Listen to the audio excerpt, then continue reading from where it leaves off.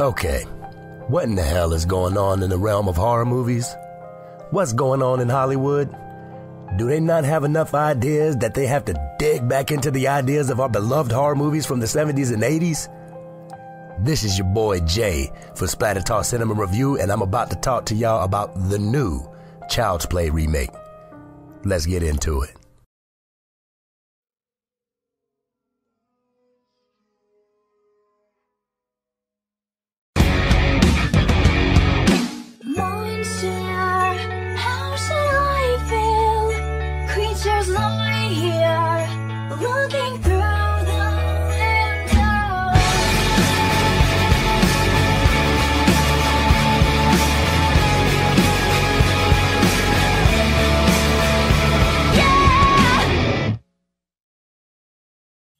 You know, I just don't get it. It's apparent Don Mancini, the creator of the original Child's Play franchise, is going to continue to pump out movies involving our favorite possessed doll, Chucky. If they're any better than Seed of Chucky, I have absolutely no problem with it. The problem I have is when you have another studio working on a remake of Child's Play which has nothing to do with the beloved franchise created in 1988. According to MovieWeb.com, Universal owns the home entertainment rights to the Child's Play franchise, but looks as if MGM has found a way to separate those rights and is going to produce its own remake of Child's Play. In the director's chair sits Lars Klevberg. I hope I pronounced that right.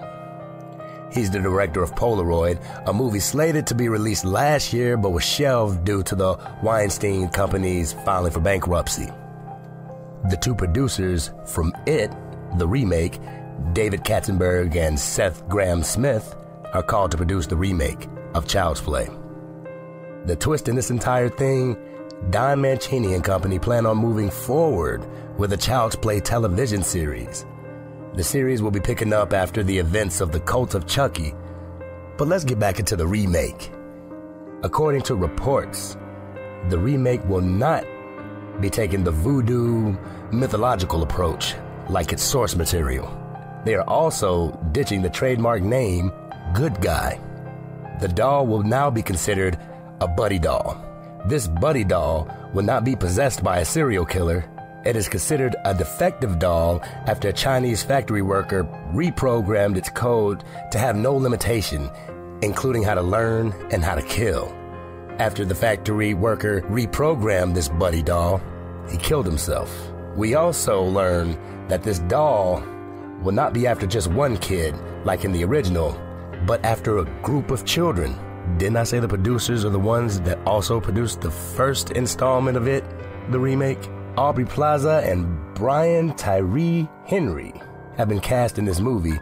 We don't know yet who they will be playing, but I bet you it's Andy's mom and the detective. Only time will tell. Christine Elise, co star of Child's Play 2, and also during the end of credit scenes of Cult of Chucky had this to say. It's especially douchey when you know that Don is developing a TV series and going back to using the title Child's Play, not Bride of, Seed of, Curse of, Cult of Chucky. It's going back to the Child's Play name and it's deep into development. So, this MGM project could have, it hasn't, but could have really easily derailed the television show project, which would be devastating because fingers crossed it hasn't, and fingers crossed I'm involved in it as much as I would like to be. It's an opportunity here where Don can further a story he's been telling for 30 years, but rather than tell it in 90 minute segments every three years or more, he can tell 10 hours of a story in 10 weeks. He can get that much more story ahead. And if you've seen Cult and you've seen how Cult ends, you know how rich in the story it is. There's so many doors open now,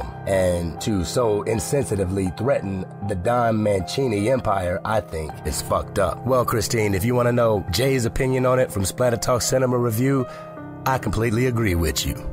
My homeboy Sin, on the other hand, really doesn't. And when this movie comes out, we are going to sit and have a debate about the original and about the remake, just like we do with all of them. But for real, my feelings is that I truly feel that this is going to be a mix up between Annabelle and It. If you see the image of um, the buddy doll, we're not going to call him Chucky because Brad Dourif is not in the movie. Oh my goodness. You took the star out of the movie. But anyway, I digress. Chucky looks like a marionette doll. He looks like something that would be off the cover of a Goosebumps book, for real, back in the 90s. But they also gave him eyebrows and stuff, you know, just to make him look innocent. They want him to look younger than the other doll did. And I mean, they did pretty good with that. But I think the nostalgia with the Child's Play series, Skipsy, the Chucky, because I'm going to do a review on that because that movie sucks. But anyway, the nostalgia for me. I think that them straying away so far from the source material is degrading to the creators, to the ones that came up with Chucky, Don Mancini, and company. That is so degrading. And not having Brad Dourif as the voice of Chucky, you have caused me to not want to see this movie at all. But anyway, I just don't know about this remake. Usually, when a studio remakes a film and doesn't have the blessings of the producers, the actors, and the director of the original film, the remake tends to suck ass. I mean, just look at Platinum Dunes. They have butchered several original horror movies and made remakes that were fucking annoying. But anyway, that is my take on the new Child's Play remake. I could give a fuck less about it, but the horror fan of me is going to go see it and obviously review it whenever it does come out in 2019. Um, I think I'm going to leave it up to Sin to do it because I'm kind of skeptical about this. But at the end of the day, I was skeptical about the remake of It.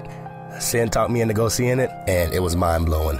But anyway, that is my take on this whole Child's Play debacle, whether it's the remake or the TV series. Leave it alone. Just leave it alone and let Don Mancini do his fucking thing. If you like what you heard today, go ahead, click that subscribe button, hit that bell so you can get all the notifications for Splatter Talk Cinema Review. Hit that like button, give us a little comment down in the comment section because we love to hear from you. We love to hear from everybody, whether it's positive, negative, whether you got comments, questions, concerns, go ahead, hit us up, and we will gladly get back at you. But until the next video, this is your homeboy Jay representing Splatter Talk Cinema Review, and it's a wrap.